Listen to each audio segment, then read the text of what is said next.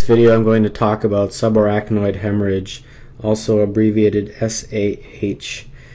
Before I get into the symptoms and diagnosis, I'm going to draw a diagram uh, that sort of represents uh, the anatomy of what's uh, involved.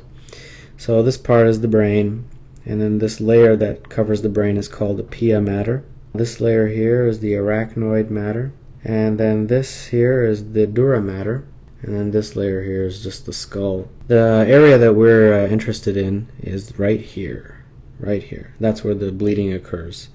And uh, that area, as you can probably imagine, is known as the subarachnoid space. So that subarachnoid space is where the bleeding occurs.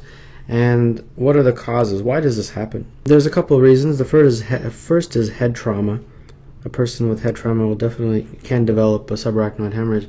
But another really common is ruptured aneurysms.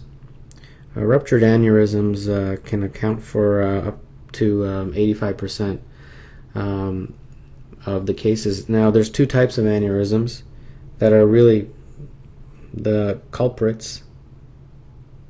There's this one, and there's this one. These are the way they look. They've given special names. This one's called a berry aneurysm. I don't know why, maybe because it looks like a berry, I don't know. And this one is called a saccular. S C C U L A R, saccular aneurysm. And those are the two types of aneurysms. Uh, they're, they're described based on shape. So, why is this important? Why is a subarachnoid hemorrhage important? Well, subarachnoid hemorrhage is very important because it, it can lead to a lot of problems. And here's here's a a list of things. It can cause meningitis. Okay. It can also cause increase in the intracranial pressure. It can also cause a person to develop brain ischemia, where the brain tissue is not getting enough blood. And then it can also cause stroke and cerebral edema. As you can see, all these things can probably kill a patient.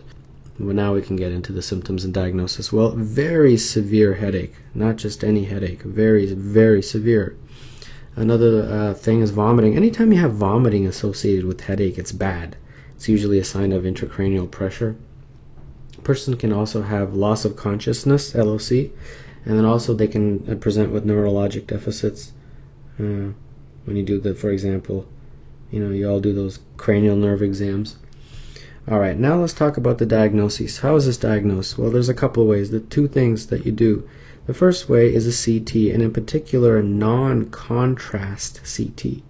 Okay, why non-contrast? Because contrast on a CT appears white, and blood on a CT, contrast appears white. Blood on a CT also appears white. So if you did a CT with contrast, you wouldn't be able to tell what's the contrast and what's the blood. So you do a non-contrast. And the second way is by doing a lumbar puncture to obtain a sample of CS, CSF, cerebrospinal fluid. Okay? Now, if it was that simple, you know, with this whole CSF thing, you wouldn't be able to have any board questions, but it's not that simple because there's a couple of issues here that we need to talk about. And we need to talk about, I'm going to draw a line here, and uh, we're going to talk about CSF from a lumbar puncture Okay. That is from subarachnoid hemorrhage. And CSF from a traumatic lumbar puncture. Now, think about this for a second. Person has person has subarachnoid hemorrhage. You do the CSF. You, you do the lumbar puncture and you obtain a sample of CSF and you put it in a test tube. Is this going to have blood in it? Well, yes, it will, because the person has subarachnoid hemorrhage. Now, let's say I'm going to draw, I'm going to make it red just to show. Now, let's say you do uh, a lumbar puncture on a person who doesn't have subarachnoid hemorrhage. But during the lumbar puncture, you, you cause some trauma, cause some bleeding. Is the person going to have blood in the CSF? Yeah, they will. Well, then how do you know if this is a subarachnoid hemorrhage or is it a traumatic lumbar puncture? Well, there's a couple ways, and that's what I really wanted to talk to you about. So let's see if we can figure this out. Uh, let's just erase the whole thing. All right. All right, let's see. So we got CSF from subarachnoid hemorrhage, CSF from traumatic spinal tap. Okay? All right. There's a couple ways. The first way is by taking and comparing the tubes. Now, let's say you, you drew four test tubes. Okay? This is the first one, this is the second one, this is the third one, this is the fourth one. Well, the, the blood, the red blood cells, will be about the same if you were to measure the content of the red blood cells in the CSF sample. Okay? Let's say this is the CSF sample. But something interesting happens with uh, traumatic uh, spinal taps, whereas is if you took the samples, the amount of red blood cells in each successive sample would be less. See, this is in chronologic order. This was the first one that you drew. This was the second test tube. This was the third uh, tube. This was the fourth. That's one way of differentiating.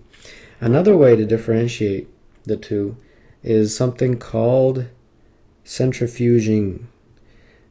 You take a sample and you centrifuge. You spin it. And when you spin it, it separates the liquid from the precipitate. Okay, this is this bottom part here is precipitate.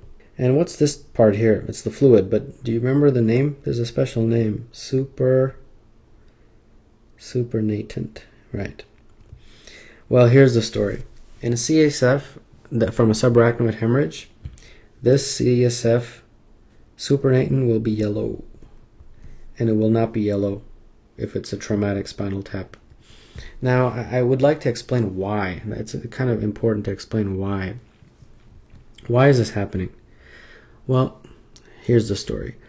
When a person has a subarachnoid hemorrhage, so I'll draw a little red blood cell here, RBC. So someone has a subarachnoid hemorrhage, there's blood inside the subarachnoid space. The red blood cells eventually lyse and then they release these hemoglobin molecules. Okay, hemoglobin. And then the hemoglobin is hit by oxygen, and then it becomes oxyhemoglobin. Okay? Then what happens is you have an enzyme, an enzyme called heme oxygenase. Okay? And that eventually leads to the production of bilirubin. Okay, this is what causes that yellow color.